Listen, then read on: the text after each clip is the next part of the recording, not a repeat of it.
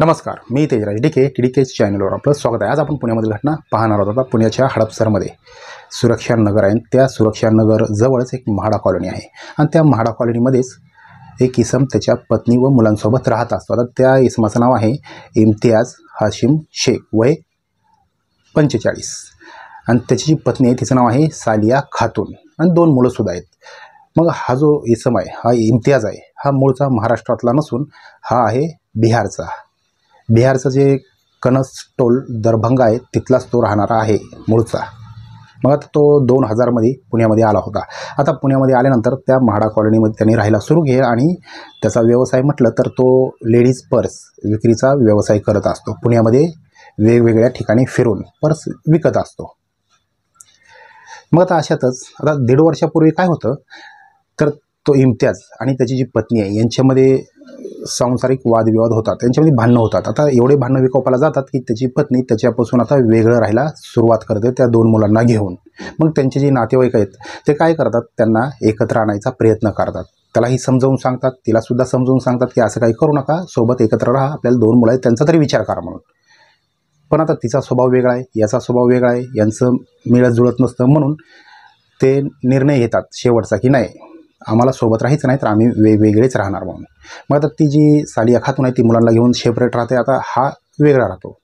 हा एकटा पडतो. मग आता हा काय करत असतो तर रोजच्या रोज लेडीज पर्स घेऊन पुण्याच्या वेगवेगळ्या भागामध्ये जात असतो. लेडीज पर्स विकत असतो पैसा चांगला कमवत असतो आणि संध्याकाळ झाली की कुठल्या तरी एका हॉटेलमध्ये जाऊन जेवण करणे दारू पिणे असं काही करत असतो घरी येत असतो.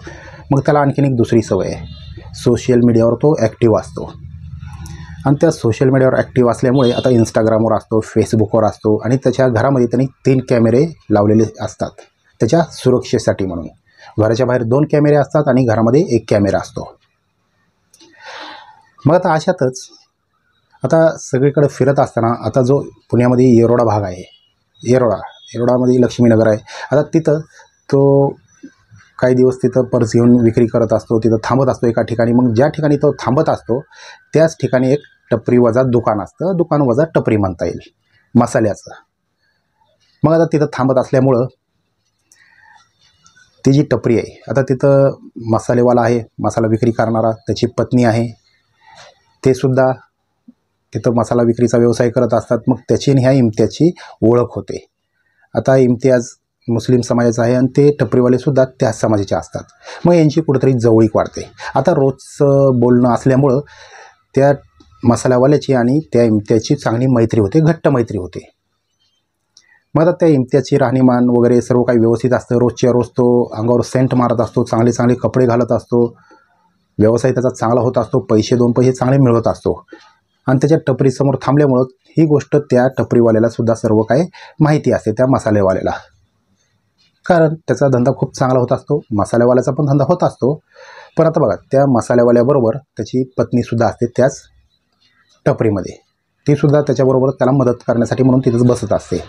मग तीसुद्धा त्या इम्तियाजचं राहणीमान बघत असते चांगला व्यवसाय होतो आहे ते बघत असते याच्यावर भरपूर पैसे असतात ते तिला दिसत असतात. मग आता याच्यातून काय होतं तर तो जो टपरीवाला आहे हा कुठंतरी थोडासा संकटात सापडलेला असतो आर्थिक संकट संकटात. त्याला थोडासा व्यवसाय वाढवायचा असतो पण त्याच्याकडे पैसा नसतो. मग आता ह्या इम्तियाजकडं चांगला पैसा आहे. तो पैसेवाला आहे. एकंदरीत त्याच्या राहणीमानावरून त्याच्या सेंट मारण्यावरून त्याच्या बोलण्याच्या पद्धतीवरून असं काही लक्षात येत असतं. म्हणून आता त्या नवरा बायकोला काय वाटतं? त्या मसालेवाल्या नवरा बायकोला वाटतं की अरे हा इम्तियाज जो आहे चांगला माणूस दिसतोय बोलायला चांगला आहे आपल्या समाजाचा आहे पैसेवाला आहे. तर आपण जर याच्याकडून काही पैसे उसने घेतले तर आपल्या धंद्यासाठी म्हणून तर धीर आपल्याला लगेच. असं काही त्यांना वाटतं. मग ते नवरा बायको काय करतात? तर एका दिवशी त्या इम्तियाजला म्हणतात की इम्तियाज आम्हाला थोडी अडचण आहे पैशाची. आम्हाला थोडासा धंदा वाढवायचा आहे. तर तू आम्हाला थोडेसे पैसे उसणे देशील का? मग आता हे त्यांनी त्याच्यासमोर प्रश्न मांडल्यानंतर त्याला असं वाटतं की अरे हा मसालेवाला आहे. आपल्या समाजाचा चला. याचा पण धंदा चांगला होतो आहे आता माझ्यासमोरच ह्या गोष्टी सर्व आहेत तर याला पैसे द्यायला काही हरकत नाही. म्हणून तो सुद्धा काय विचार करतो की चला ठीक आहे किती पैसे पाहिजेत? तर ते म्हणतात चाळीस हजार रुपये आम्हाला उसने पाहिजेत. मग तोही कसलाही विचार करत नाही. लगेच पैसे काढतो आणि त्यांना देऊन टाकतो. आणि म्हणतो की जसे जसे येतील तस तसे दिले तरी चालेल. थोडे थोडे महिन्याचे महिने दिले तरी चालतील. तेही ठीक आहे म्हणतात. मग आता पैसे घेतल्यानंतर ते त्यांचा धंदा वाढवतात. मग आता याच्यामध्येच जवळजवळ एक वर्षांचा कालावधी लोटतो. तरी ते टपरीवाले त्याला पैसे देत नाहीत. मसालेवाले जे आहेत ते दोघांवर नवरा ते त्याला पैसे देत नाहीत. तसे इमानदार असतात ते चांगले असतात भोळे भाबडे असतात.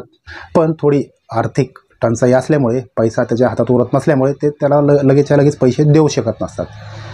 पण आता हा इम्तियाज एक वर्षाचा कालावधी झाला म्हटल्यानंतर आता हा त्यांच्या मागं तकाजा लावतो की माझे पैसे परत तुम्ही कधी देणार? मग ते त्याला म्हणत असतात काहीतरी म्हणून वेळ मारून नेत असतात. पण त्याला सांगतात की आम्ही तुझे पैसे बुडवणार नाहीत आम्ही तसले भामटे लोक नाही तर तुझे पैसे आम्ही देणार म्हणजे देणार. पण थोडंसं आमच्याकडे पैसे येऊ दे त्यावेळेस तुझे पैसे देतो. पण आता इम्तियाजला खूप घाई झालेली असते की नाही म्हणतो माझे पैसे मला पाहिजे म्हणजे पाहिजे. मग आता तो काय करत असतो तर त्यांच्या त्या टपरीवर जात असतो पैसे मागत असतो कधी मग त्यांच्या घरी राहत्या घरी जात असतो ते भपखेला राहत असतात. तिथे जाऊन पैशाचा तगादा लावत असतो पण ते म्हणत असतात की देतो म्हणून. पण पैसे काय मिळत नसतात. म्हणून आता ते तो इम्तियाज काय करतो आता तारीख आहे चोवीस फेब्रुवारी दोन हजार तेवीस. म्हणजे दोन हजार तेवीसचं वर्ष आलेलं असतं. तरी पण त्या मसालेवाल्याने त्याचे पैसे परत दिलेले नसतात.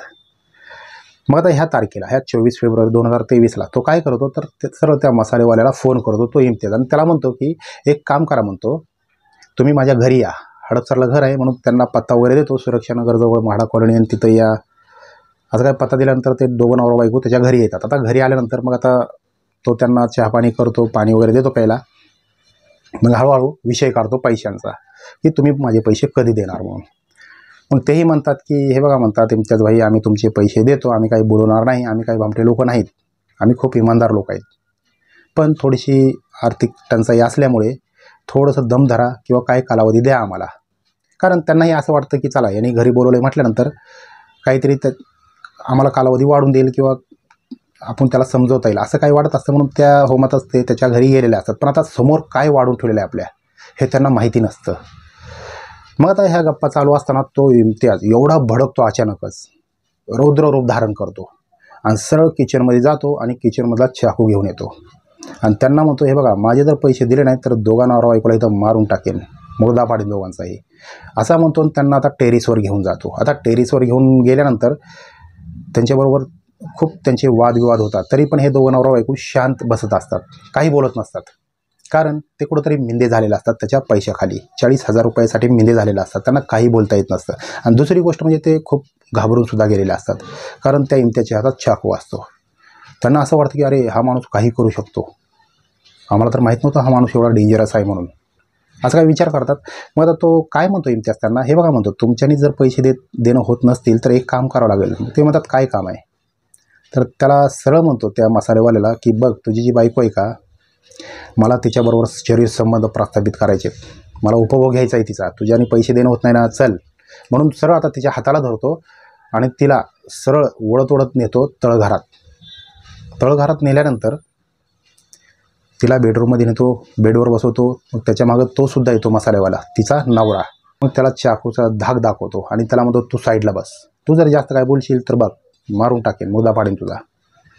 मग आता ती त्याच्या बायकोच्या अंगावरचे कपडे काढायला सुरू करतो. कपडे वरबाडून घेतो काढायला तो जबरदस्ती करतो. ती बिचारी रडत असते गयावाया करत असते त्याच्या पाया पडत असते की असं करू नका. तो नवरा म्हणणार सुद्धा त्याच्या खूप पाया पडत असतो गयावाया करत असतो की असं काही करू नका. तुमचे जे काही पैसे असतील ते मी देऊन टाकीन. पण असं काय आमच्याबरोबर करू नका. आम्ही त्या ह्याचे लोक नाहीत. आम्ही खूप चांगले माणसं आहेत. इमानदार लोक आहेत गरीब लोक आहेत भोळेबावळे लोक आहेत आम्ही. पण तो ऐकून घेण्याच्या मनस्थित नसतो. तो एवढा चिडलेला असतो की अक्षरशः त्यांच्या गळ्यावर चाकू ठेवून तिला पूर्ण निवस्तर करतो विवस्तर करतो तिला. आणि तिला पूर्ण कपडे काढायला लावल्यानंतर सरळ आता तिच्याबरोबर सरळ समागम करतो तिच्या पतीसमोरच.